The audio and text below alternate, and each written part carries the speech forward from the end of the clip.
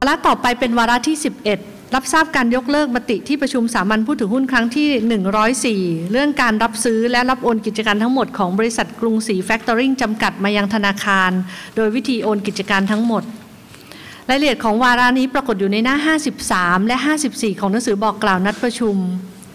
สืบเนื่องจากที่ประชุมสามัญผู้ถือหุ้นครั้งที่ 104 เมื่อวันที่ 28 เมษายน 2559 ได้เคยมีมติอนุมัติ การรับซื้อและรับโอนกิจการทั้งหมดของกรุงศรีแฟคทอริงมายังธนาคาร โดยวิธีโอนกิจการทั้งหมด แต่ต่อมาธนาคารมีการปรับยุทธศาสตร์การประกอบธุรกิจ โดยเห็นว่าธนาคารสามารถจะให้สินเชื่อในรูปแบบสินเชื่อ supply chain แทนการสนับสนุนสินเชื่อในรูปแบบ factoring ซึ่งจะทำให้สามารถสร้างมูลค่าเพิ่มให้แก่ธนาคารได้ดียิ่งขึ้น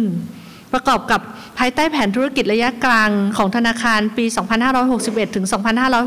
2563 ธนาคารมุ่งเน้นการดำเนินงานและขับเคลื่อนองค์กรด้วยนวัตกรรม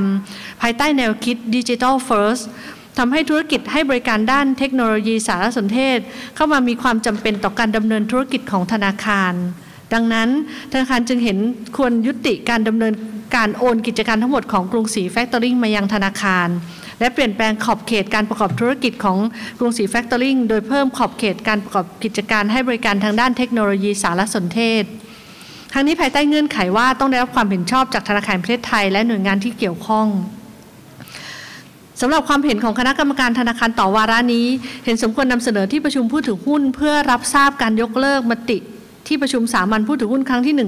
104 เรื่องการรับซื้อ และรับโอนกิจการทั้งหมดของกรุงศรีแฟคทอริงมายังธนาคาร โดยการ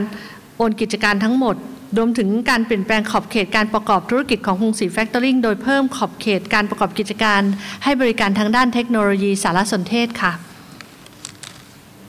มีผู้ถือหุ้นท่านใดประสงค์จะสอบถาม หรือแสดงความเห็นเกี่ยวกับวาระที่ 11 นี้หรือไม่คะ